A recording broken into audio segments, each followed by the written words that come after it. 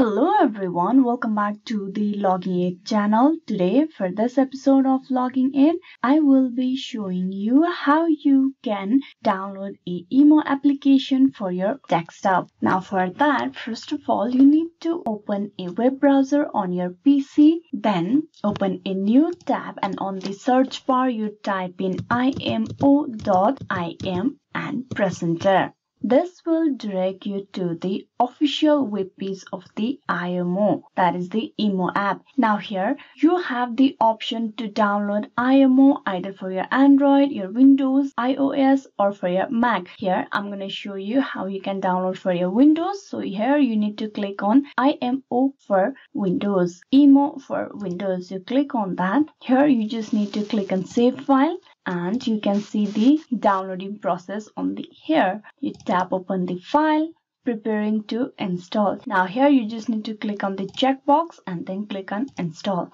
now the installation process will begin once the installation process is completed, you click on finish. And with that, you have downloaded the imo application for your desktop. Hope this video was useful on how you can download the imo application for your Windows. Please like and subscribe the Login Aid channel and also don't forget to click on bell icon. Thank you.